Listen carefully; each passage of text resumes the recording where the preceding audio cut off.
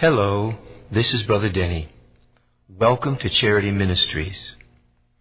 Our desire is that your life would be blessed and changed by this message. This message is not copyrighted and is not to be bought or sold. You are welcome to make copies for your friends and neighbors. If you would like additional messages, please go to our website for a complete listing at www.charityministries.org. If you would like a catalog of other sermons, please call 1-800-227-7902 or write to Charity Ministries, 400 West Main Street, Suite 1, Ephrata, PA 17522.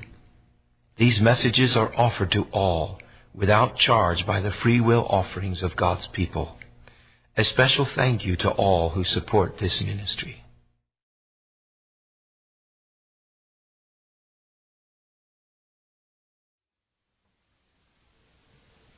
What a beautiful song. Thank you for your singing.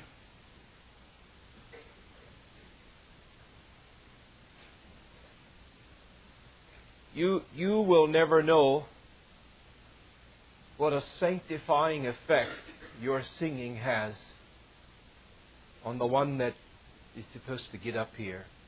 Thank you for your singing. Thank you for singing with all of your heart.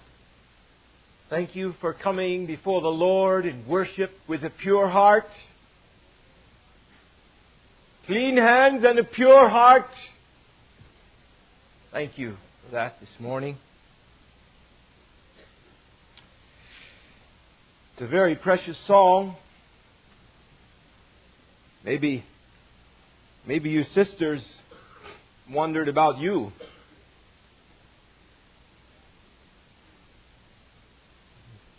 Did the songwriter leave you out? no. But I firmly believe that if if this side of the room over here will do what that song says, it will take care of this side of the room. I believe that. So we didn't leave you out. You have your part in all of that. But let's face it, young men, the burden is on us. Let's take it. Have done with all this tomfoolery that young men waste their time on. Let's get a higher purpose. Amen? Amen. Let's get a higher purpose.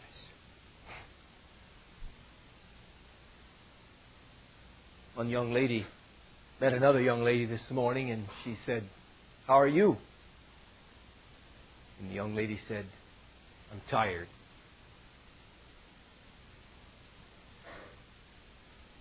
How many of you are a bit tired this morning?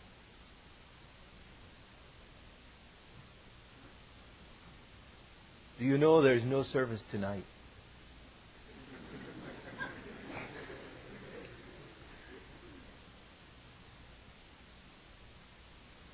You're supposed to go home and go to bed. As they say in African English, it's time for you to go home and go to bed.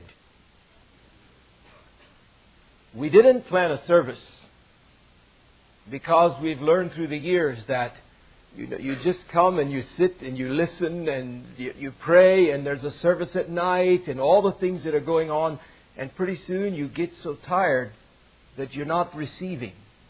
And you go through the rest of the week because you're here but you won't be here like you should if you're not rested. So I want to encourage you don't say, Oh boy, it's Wednesday night. We're going to sit up tonight. We're going to have a sing. We're going to this. We're going to do that. Don't do that. You need to rest. You need a good night's rest. Will you do that tonight? How many of you will do that tonight? Uh, I'm going to ask you tomorrow now.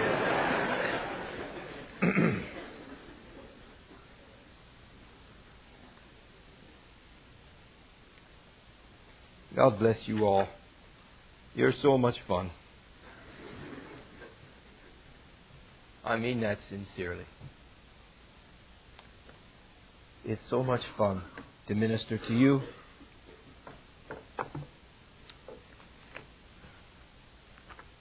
I want to read you a verse this morning that I found. Goes along with what we've been saying. Psalm 138 and verse 6. God says, Though the Lord be high, though the Lord be high, yet hath he respect unto the lowly. And I looked up that word, respect, and it's the same word as look. Remember yesterday we were speaking a bit out of Isaiah 66? Unto this man will I look, God says. Well, the word respect is that same word. And it's like God, God is saying, I put my attention on the lowly, even though I am high. But the rest of the verse is also worthy of some meditation. It says, But the proud he knoweth afar off. The proud he knoweth afar off. I'm not sure which one you want, but I know which one I want for my life. I want to give you a couple of names of books. A couple of people were asking. I want to give you the names of these books and give you an assignment for your devotional life for the next month after you go home. Brother John gives homework while you're here. I give homework after you go home. Humility by Andrew Murray. Just a little book. Packed. Whitaker House Publishers. Humility by Andrew Murray. You should have this book. And then this one also, it's called Royal Insignia. It's 98 meditations on humility. That's for the next month. That's one for the morning, one for noon, and one for the evening for the next month. 98 meditations. The book was compiled by a dear lady, Lillian Harvey, Mrs. Harvey. That's what I call her. She lives, she has, does her publishing and she lives in Yanceyville, North Carolina. Harvey and Tait Publishers. You can order the book and a book list. This telephone number or fax 910 694 1016. Very good book. I've read it many times. Over and over and over again. And it's, it's a rich study. She's compiled the writings of saints for the last 300 years into a little book on humility. And it is powerful. You read a page and you're just done. You're done. It'll put you on your face over and over and over again. And that's what these studies are all about. Getting on our face. So I would recommend those two books to you and Let's open our Bibles to Philippians chapter 2.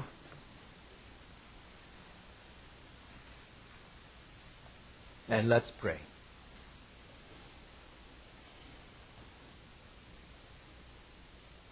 Holy, holy, holy. Lord God Almighty. You are holy today. We bow before you in the name and through the blood of Jesus Christ. O thou holy God. Thank you.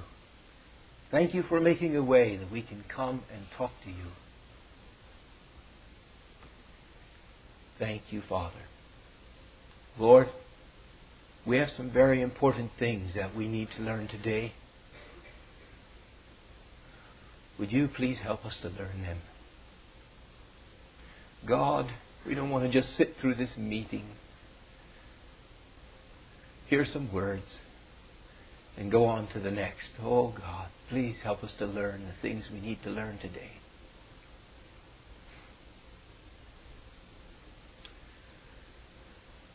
Wash us in the blood. Cleanse us from our iniquities, Lord. You know, even those good things we do, they're perverted by ourselves, by our motives, by our ignorance. Oh, cleanse us from our iniquities, O Lord, today in the blood. And fill us with the Holy Ghost, with the Spirit of Jesus, with the Spirit of humility. Fill us, every one of us, so that we can receive with meekness the engrafted Word which is able to save your souls. In Jesus Christ's name, amen. We were talking yesterday about the life of the Lord Jesus. We were looking at his life a bit. Myself, I was all caught up in the beautiful humility of the life of the Lord Jesus, and the clock struck 11:30. And we cannot just skip over that and go on, though we need to go on, but I think we need to just ponder a bit more on the life of the Lord Jesus before we go on in our subject.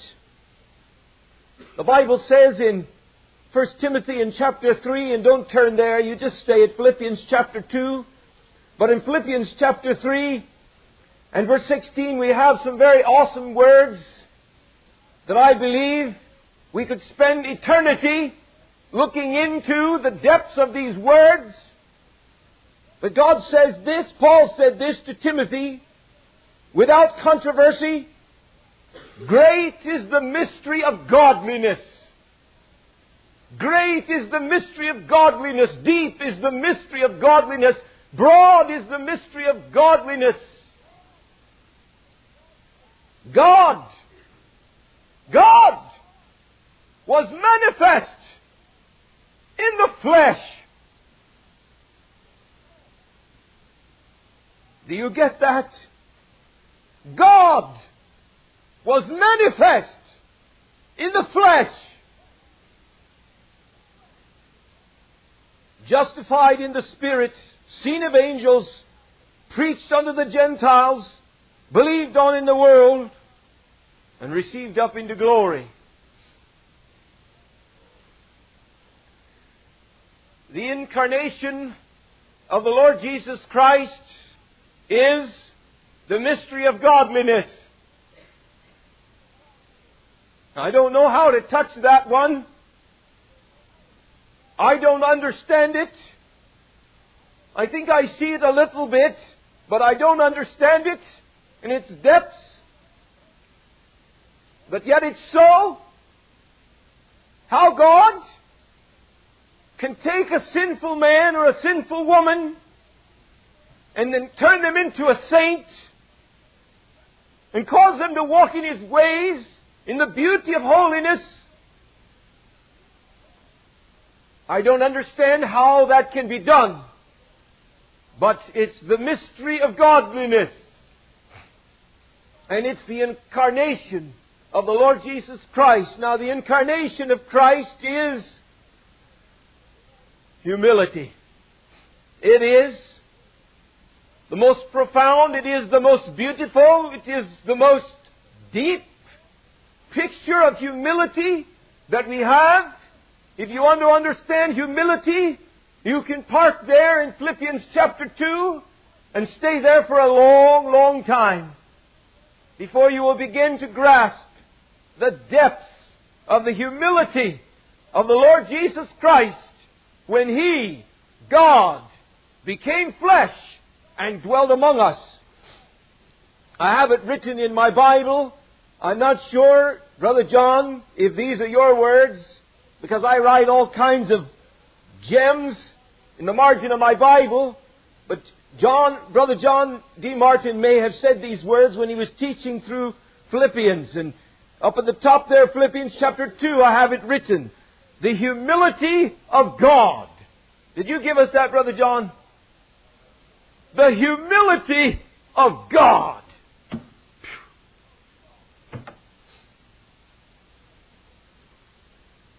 Philippians chapter 2. Verse 3. Let nothing be done through strife or vainglory, but in lowliness of mind. Let each esteem other better than themselves. Look not every man on his own things, but every man also on the things of others. Let this mind be in you. Young people, let this mind be in you, which was also in Christ Jesus, who being in the form of God, thought it not robbery to be equal with God, but made himself of no reputation, and took upon him the form of a servant, and was made in the likeness of men. And being found in fashion as a man, he humbled himself. He humbled himself and became obedient unto death, even the death of the cross. Now the theologians call this the kenosis. That's a Greek word that means the self-emptying of Christ. This is the kenosis. This is the portion of Scripture which describes to us the self-emptying of Christ.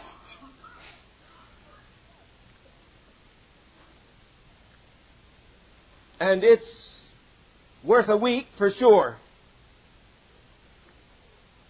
But we won't give it a week. But just simply let us ponder it for a few moments here today. The self emptying of Christ, the seven steps downward of the Lord Jesus Christ, the seven steps of humility in the Lord Jesus Christ. Here He is, God. God. In the beginning was the Word, and the Word was with God, and the Word was God. Here's God in glory. God the Father, God the Son, God the Holy Ghost. He is there. They are there. He is there. They are there. They are one. And the Father says to the Son, I'm sending you. I send you to redeem man. I'm sending you to redeem man. And Christ, being very God, in all of his power, all of his glory, all of the adoration that he received in glory, all of the angels flapping around, honoring him, Christ, being very God, said to his Father, Yes. Yes. He said, Yes. Yes, Father. I will leave here. I will go there. I will leave all of this. I will go to that. I will leave all this splendor and go to all that muck. I will leave all this purity and all of this holiness and go down into all of that unholiness. Yes, Father. Yes. And it says he made himself of no reputation. He made himself nothing. He emptied himself of all that he was, laid aside all that he was, and became nothing. Became nothing. And he chose to be a total slave to his father. Imagine, imagine that, a king submitting himself to the life of a slave. But he chose to be a slave to his father.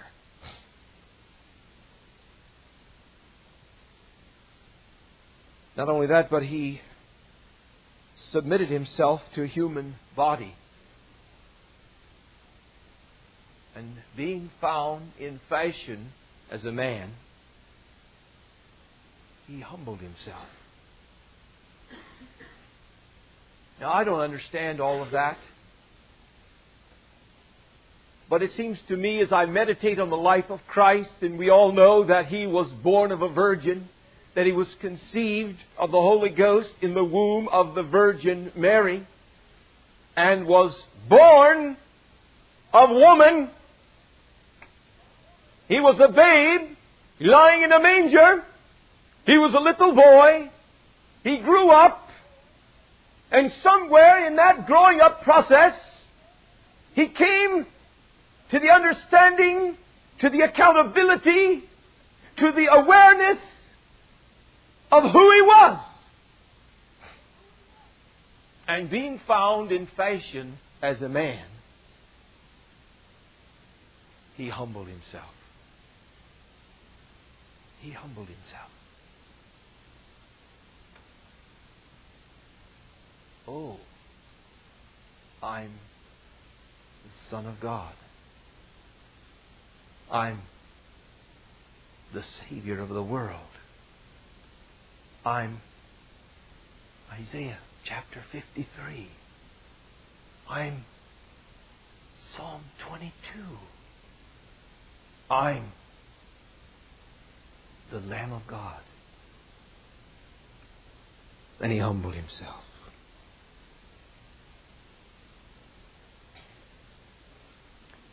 So he submitted himself to a human body in all of his self emptying, and he humbled himself.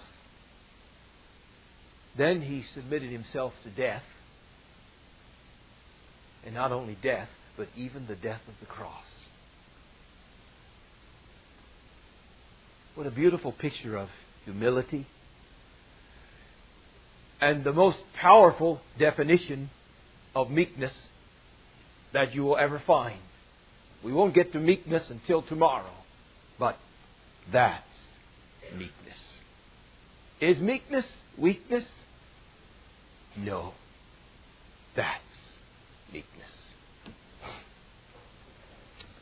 You say, Brother Denny, this is too high for me. I, I'm not understanding the things that you're saying. It's, it's, it's too much for me to grasp. I, I don't think that I'm getting what you're saying. It's going over my head, and maybe you feel that way. And if you're feeling that way, as we are looking through these studies, all the more reason that you should sit up on the edge of your seat. Because, if I can use the words of Paul, it could be that you're dull of hearing. You're dull of hearing. And when we realize that we're dull of hearing, it's not time to go home and quit. It's time to sit up and say, oh, wait a minute. These, these life changing principles I need for my life, but they're kind of going right over me. I better really pay attention here because I don't want to miss this. And you don't want to miss this. You could flounder around in your Christian life for another 10 years. You don't want to do that. I know you don't. But consider with me, how can this be that we know so little of this foundational grace? How can this be? May God make us students. You know, the Lord Jesus said these words to his disciples. Not only was he the incarnation of humility, the perfect example of humility, and he lived it out before his disciples, but he didn't stop there just living it out before them, but he began to give it to them. He began teaching them these principles, and he said these words to them, I am among you as one that serveth. And that's an awesome thing to me when we realize who he is and who he was, that he was a king, and you know, it would have been difficult enough to leave glory and come down to the earth and become a man and be a king. But he came down to earth and became a man and became a servant, a slave to a humanity that was so deluded and so demented that they took the very Son of God and hung him on the cross and crucified him. And Jesus submitted himself to be a servant to that humanity. I am among you as one that serveth. He lived humility, and he taught his disciples humility. And that's why his life was so powerful, because there wasn't any gap there, you know? No gap between his theology and his reality. But he said this to his disciples. He said, encouraging them and all the others that were walking around listening to his words, he said, Take my yoke upon you and learn of me, for I am meek and lowly in heart. Beautiful words. Only the Son of God could say such things, but that, that's what he said. I am meek and lowly in heart. In Matthew chapter 20, he said to his disciples, Whosoever will be chief among you, let him be your servant. Oh, if we could grasp that, if you could grasp that, it would change your life.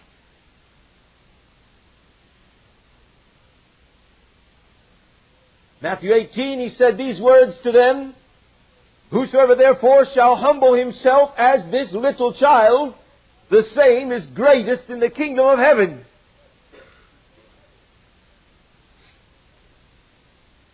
And in Luke 9:48 he said he that is least among you the same shall be the greatest. And consider this with me that the whole mystery of salvation, and it was a mystery, it was a mystery. Men stood right in front of the Lamb of God, which taketh away the sin of the world. They stood right in front of the Messiah. They looked him right in the eye and didn't know who he was. Do you know why they didn't know who he was? because of this very principle humility.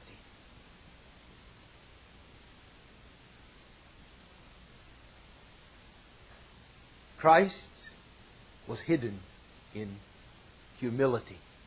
In fact, he said these words once, overflowing to his Father, after he wrestled with the proud Pharisees, you know, which they did that a lot, you know, with him, trying to get him in the corner trying to figure him out, you know, all this up here. And you know, his heart just overflowed in a prayer to his Father, and he said, Oh, Father, I thank thee that thou hast hidden these things from the wise and the prudent, and hast revealed them unto babes. You know what the difference was? Pride and humility. The Pharisees did not, did not know who he was because of their proud hearts. But the mystery of salvation was hidden in humility. It was hidden in the humiliation of false impressions about immorality, about his mother, Mary. Hidden in there. It was hidden in the humility of being born to a poor family, not a royal family. Can anything good come out of Nazareth? They said. It was hidden in the humility of being exiled or hidden away in Egypt for so many years. Hidden away there. It was hidden in the humility of a carpenter's shop.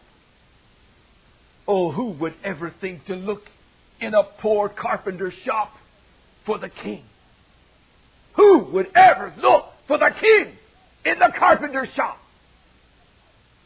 He was hidden there. Our beautiful Lord Jesus was hidden there in the carpenter's shop with a mallet in his hand and a little saw. He was hidden there. God hid him there. I want to read you this one verse. It's so precious in Zechariah. Not completely hidden to the broken, to the humble, to those that tremble at the word, but only hidden from the proud. Learn that, young people. It's still the same today. Christ is hidden from the eyes of the proud. You know, you can read this book with a proud, arrogant heart, and you will never see the glories that are hidden in it. You can do that. In Zechariah, in chapter 9 and verse 9, listen to what God said. Oh, He said it. He said it. He told them. Rejoice greatly, O daughter of Zion. Shout, O daughter of Jerusalem. Behold, thy king, king, thy king cometh unto thee. He is just and having salvation. Lowly, riding upon an ass, upon a colt, the foal of an ass. There it is. There it is. Rejoice greatly, O daughters of Zion. Thy king is coming. He is coming just, holy, a pure, a holy, a righteous king. He is coming. But ah, he's coming different than all the kings you've ever known. He's coming lowly, riding on a colt. Riding on a colt into Jerusalem. Oh, you, he'll be there. You won't, you won't know it. He'll have no crown on his head, no show of ostentation. You won't be able to figure it out that way. You will not see any royal robes upon him. You will not see any gold studs in his garments. You will not see the finest of clothes upon him. You will not see the finest of shoes upon his feet. You will not see him riding a stately white stallion down through the streets of Jerusalem. You will not see him that way, but oh, you broken, you humble, you contrite, you lowly ones, you go look for your king. He's coming, just, holy, and lowly, riding on an ass.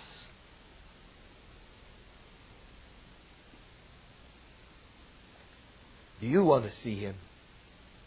Oh, Jesus, bright and morning star, altogether lovely one, so precious, so beautiful that the eyes of man cannot behold him except through spiritual eyes. You will never see him. You will never see him. You can read this book and read it and read it and read it, but you will not see him here until you see him through eyes that are lowly.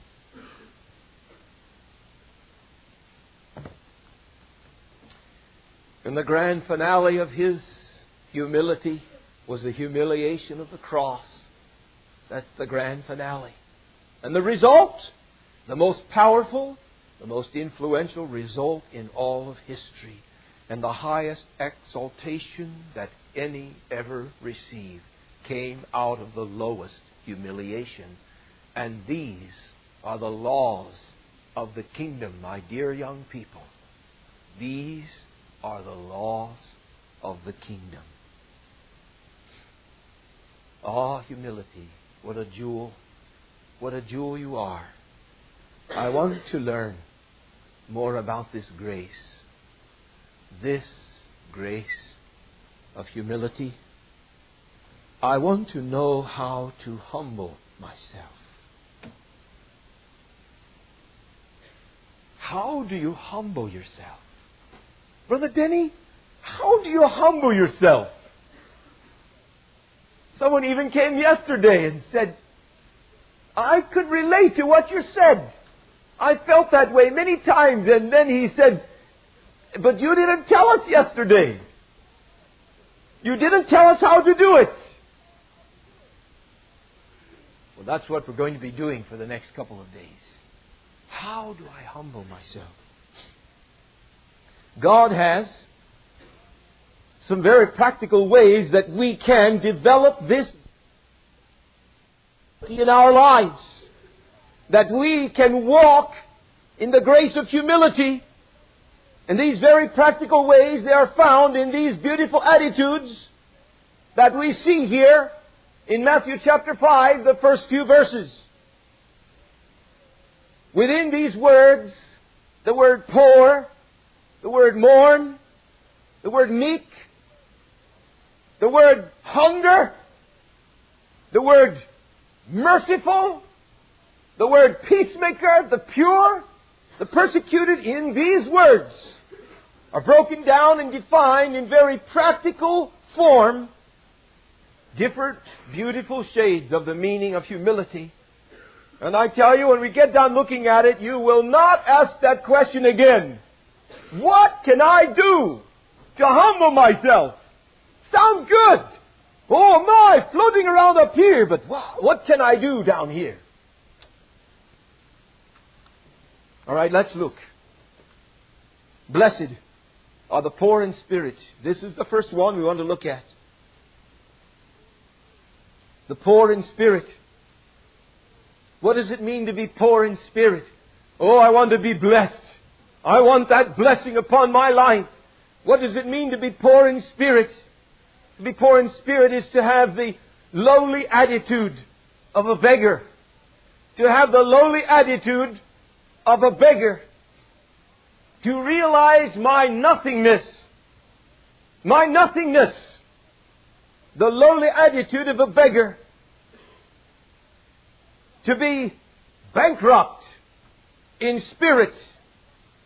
To be bankrupt in spirit and I was tempted to do it again, but I know I've done it before in Bible school, but I was tempted to get me a little metal can, you know, and put a quarter in it and just shake it around up here a while for you because, you know, we don't get to see beggars very much in the United States.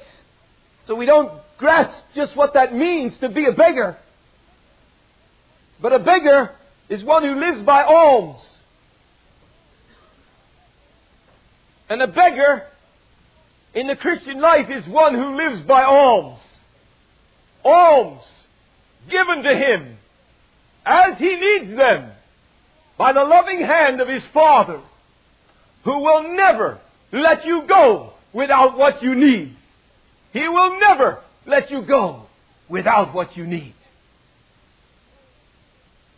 Poor in spirits is to be one who lives by alms. I don't know if you've ever seen a beggar, but I've seen some. I don't know if I've seen any in America. There might be some, but I don't think I've seen any. Now I've seen people on the side of the road trying to get some money, but I've never seen a beggar. I've seen men standing out, you know, with a sign, give to the poor, or I need work, you know, and they just kind of hold the sign out and they, they look at you, you know, try to make you feel guilty, so you give them something. But that's not a beggar. You haven't seen a beggar yet. I've seen beggars. A beggar. He doesn't have any legs. I've seen beggars in Africa.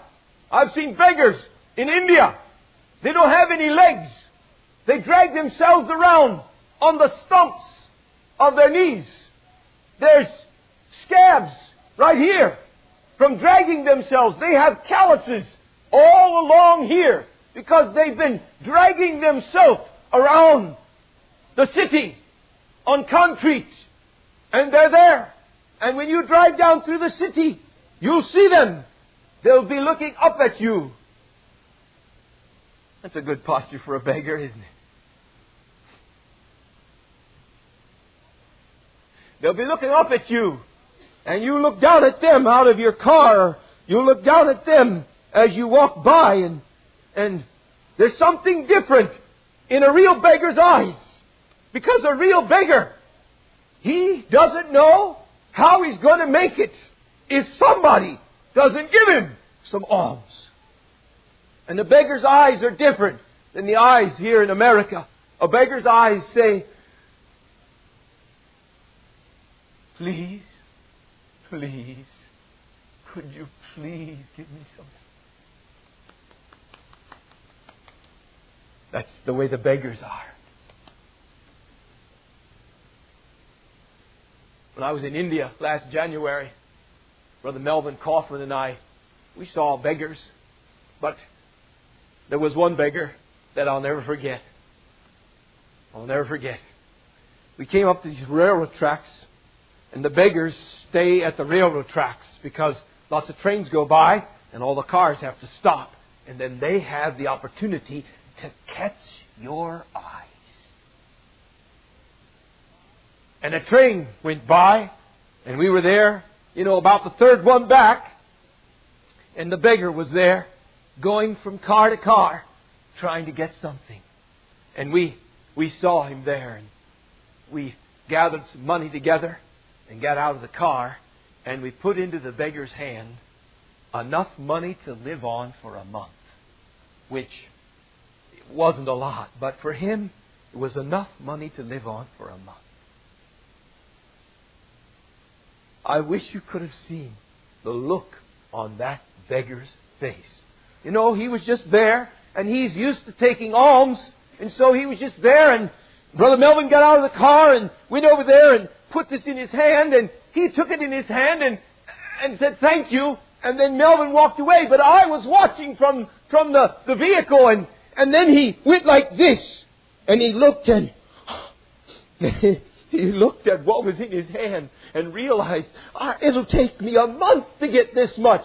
It'll take me a month of begging to, go, to get what I got right here. Oh, he looked back at us. My, if he could have kissed us, he would have kissed us. That's a beggar. That's a beggar.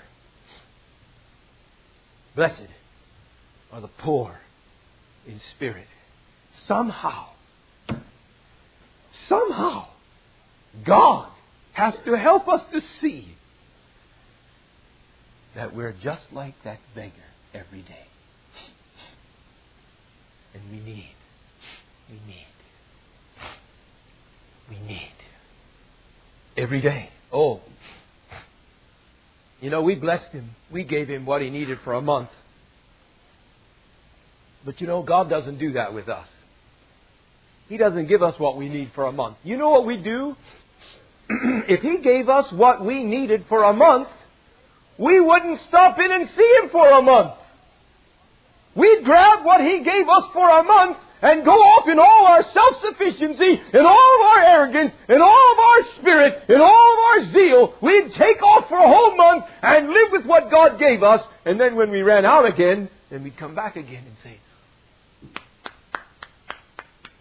But God doesn't do that. You know why?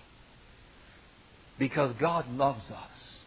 And He wants to have fellowship with us more than anything else. And He knows that we will be so fulfilled if we will learn to live off of Him.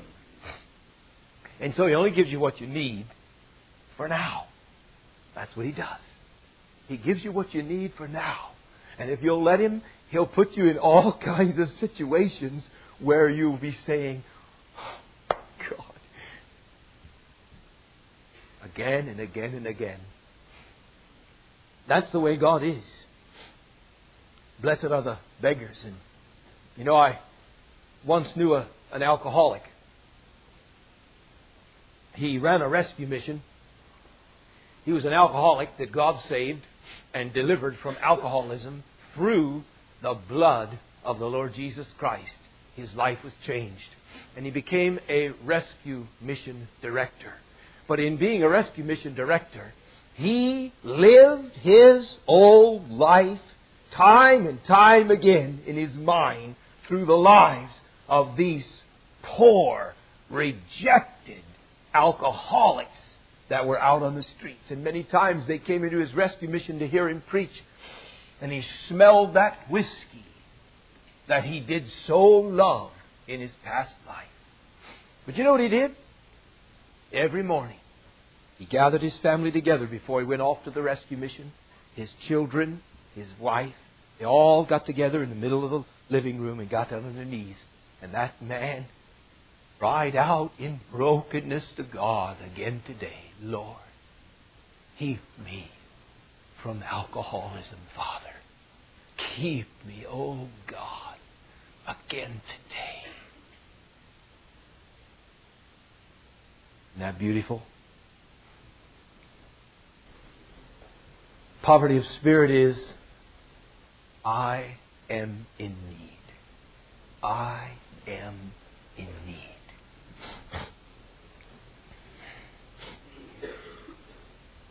I need so much strength. I need so much strength. Say, well, Brother Denny, what do I do with that? All right, I'm going to tell you.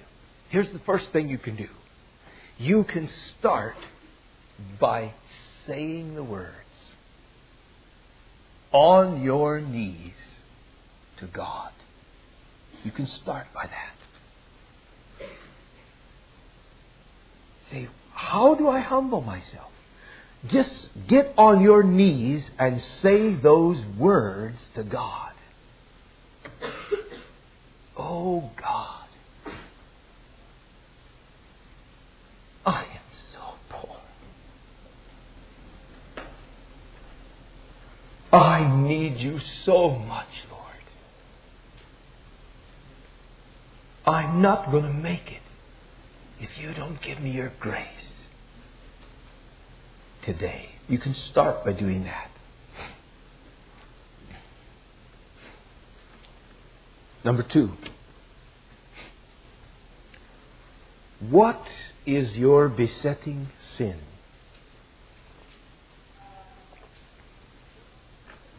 What comes to your mind? Hebrews chapter 12. Let us lay aside every weight and the sin which doth so easily beset us.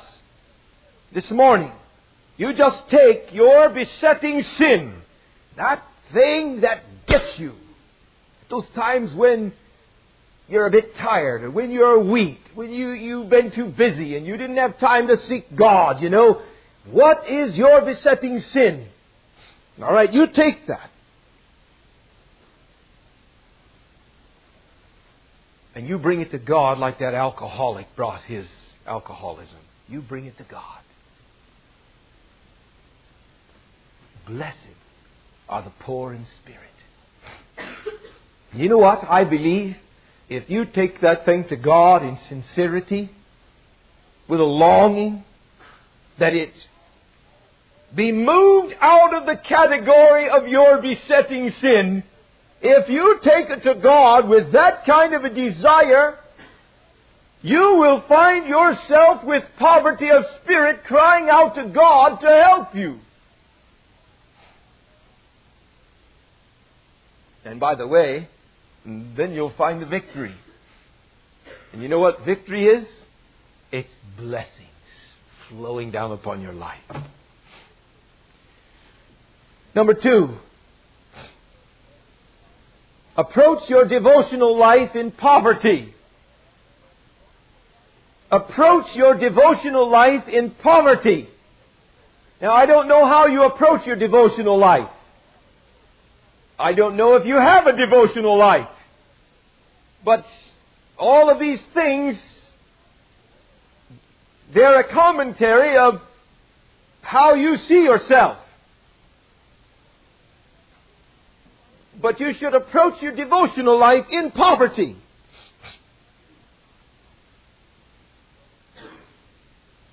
You know, lots of times people think, you know, they approach their devotional life like a law.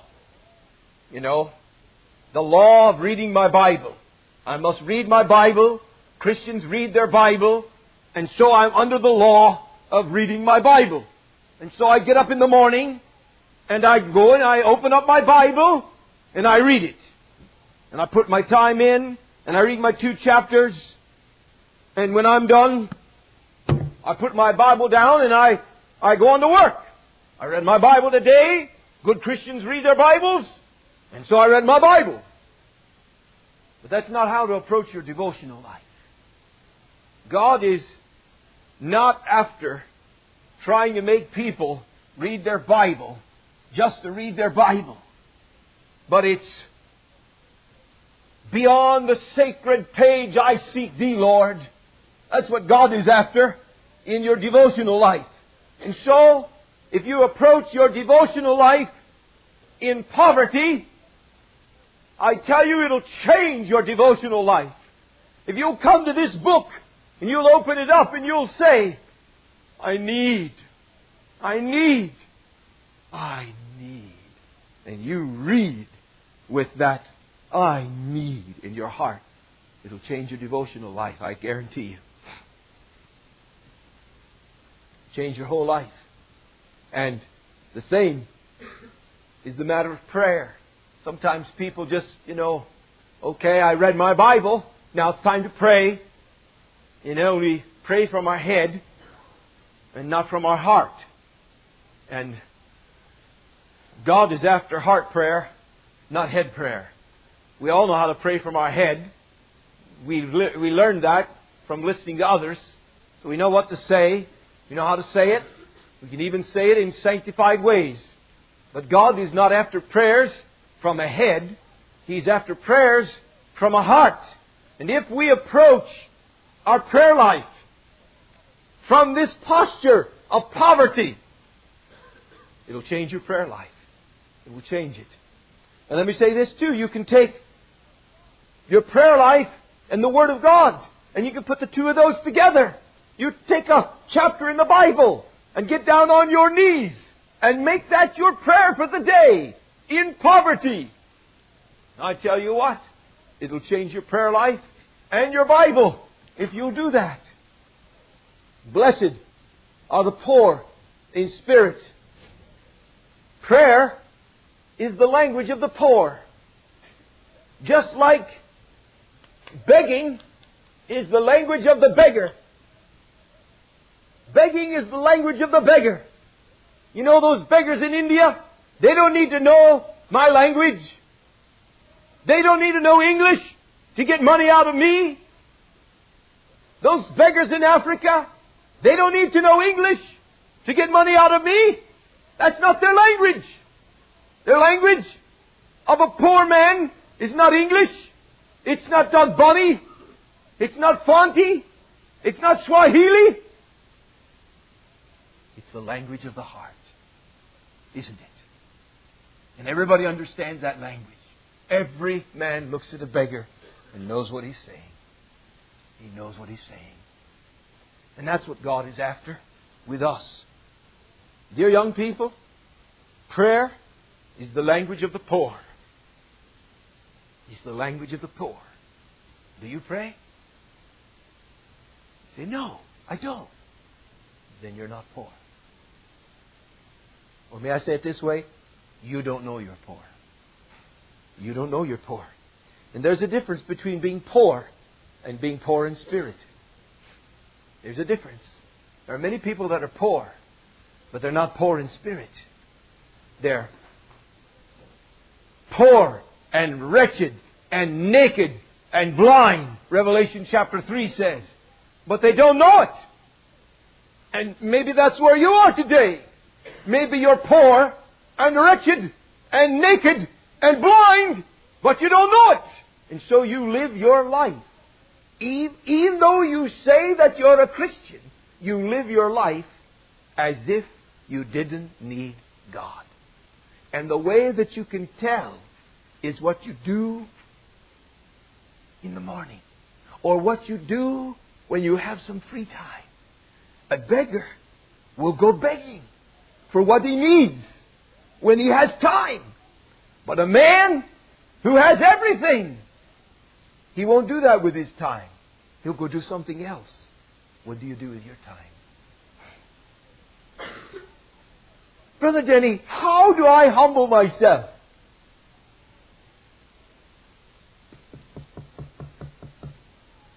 This is it. How do you do it? Oh, you read your Bible. No, you didn't get it if that's what you're thinking I'm saying. No. No. Reading your Bible is not being poor in spirits, but coming to God with a broken heart and an open Bible. That's being poor in spirit. That you can that's the way you can humble yourself. And you know what? You can do that tomorrow morning. You can do it this afternoon during the lunch hour. Every one of us. You can do that. A beggar is active about his poverty. Are you? Number three or four. By the way, going back to the second one, if you do that, you know what will happen? A vibrant flow of God's grace will come into your life and you will be blessed. You will be blessed. God said you'll be blessed. Number three, how can I humble myself? Don't set your heart to become rich. Don't set your heart to become rich.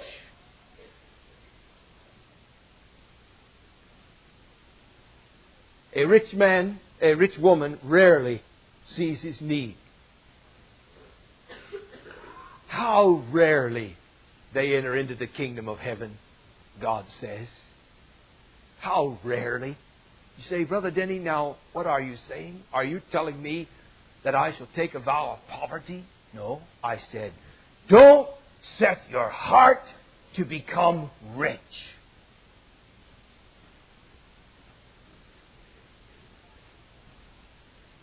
And go to the Bible to find out what that means. Don't interpret it by looking around you. Hath not God made the poor of this world rich in faith? Rich in faith? Don't set your heart to become rich. Here's another one.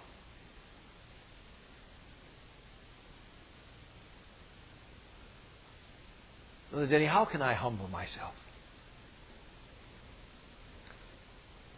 You can receive correction when it comes your way.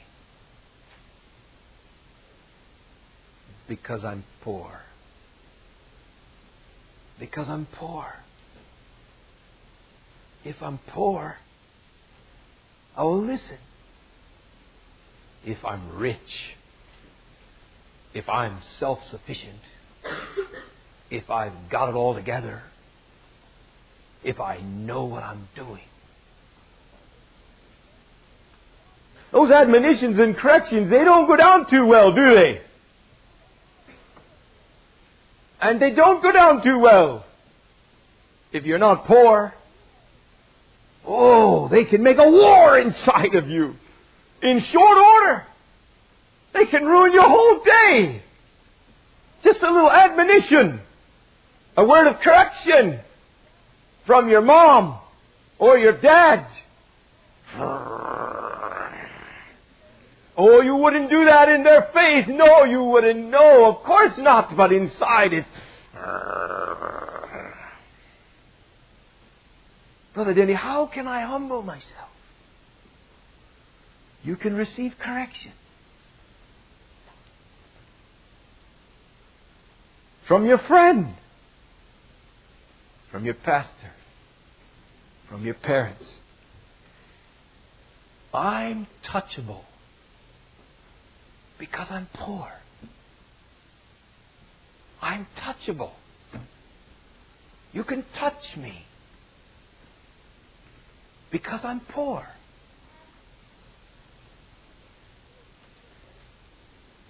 To be poor in spirit is a disposition. It's not just an act, not just reading your Bible or the things that I've told you about. It's a disposition.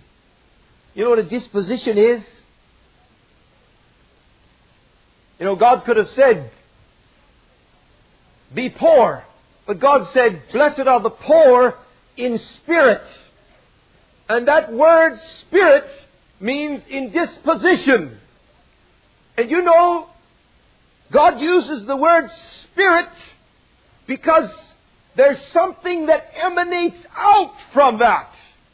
That poverty of spirit, it emanates out from us. Just like the ornament of a meek and quiet spirit is an ornament. What kind of ornament is it? It's the spirit that emanates out from a meek and quiet person that makes the ornament.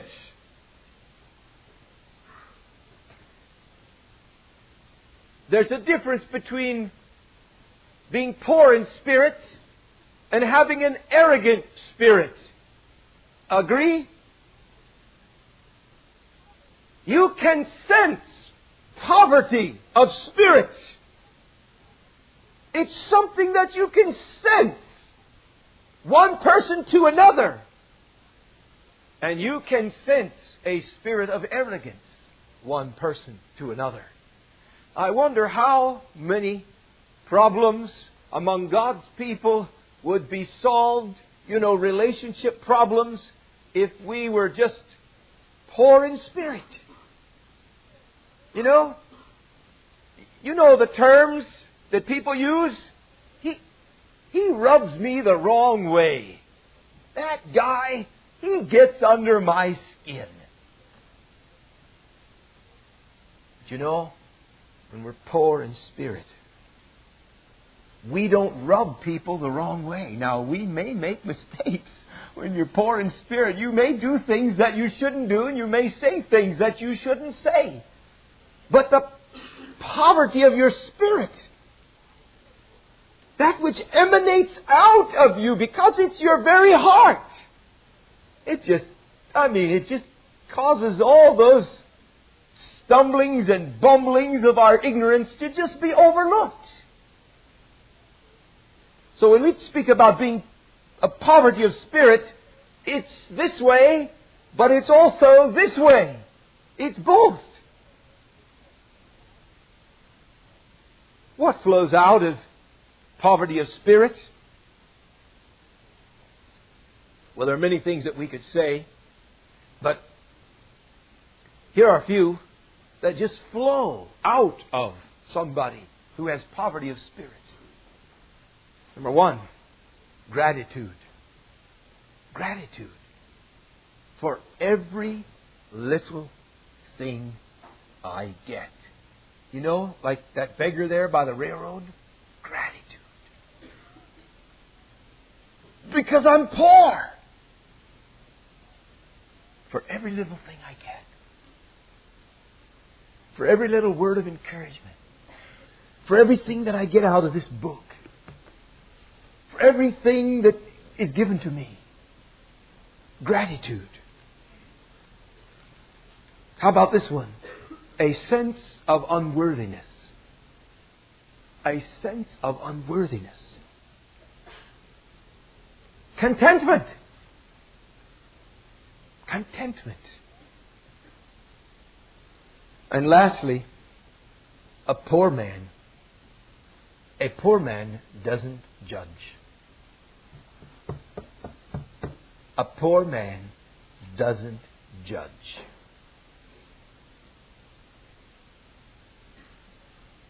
Does he? No. Because he's poor. He doesn't judge.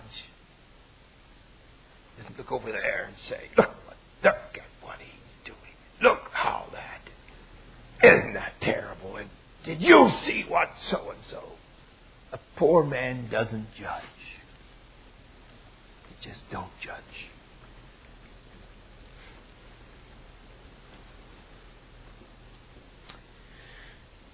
All right. Let's bow for prayer.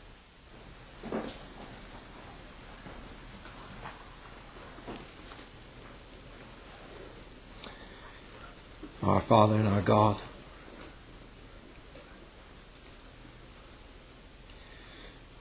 how can we humble ourselves, Lord? How can we learn this beautiful grace of humility? Teach us the ways, Lord. Deepen our souls. Teach us the ways, the practical ways that we can learn humility. And God bless these dear young people, all these things that have been given to them, Lord. Oh, Father, may they somehow be able to digest them enough this week that decisions can be made deep in their souls.